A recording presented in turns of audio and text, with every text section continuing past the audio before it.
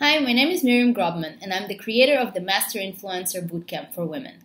I created this course after realizing through my consulting business, doing research and talking in front of audiences, that one of the biggest barriers women were facing in reaching leadership positions was the ability to influence their organizations to achieve their own goals or the goals of their teams. And this is why I created this course. In my own leadership development, there are three defining moments. The first one was when I spent two years at the Wharton School getting my MBA, learning from top notch faculty members and connecting with some of the smartest, most motivated, ambitious people from all over the world.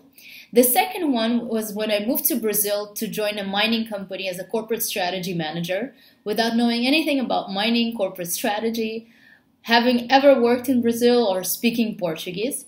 And the third one was when I started my own business and I had to build my brand as an influencer, as a thought leader. I had to source clients, I had to speak in front of audiences from all over the world. So these are the lessons I will share throughout the course, and I look forward to learning from your experiences as well and sharing the experiences of other successful women I interviewed and doing research for it. So I look forward to meeting you soon, and let's start learning.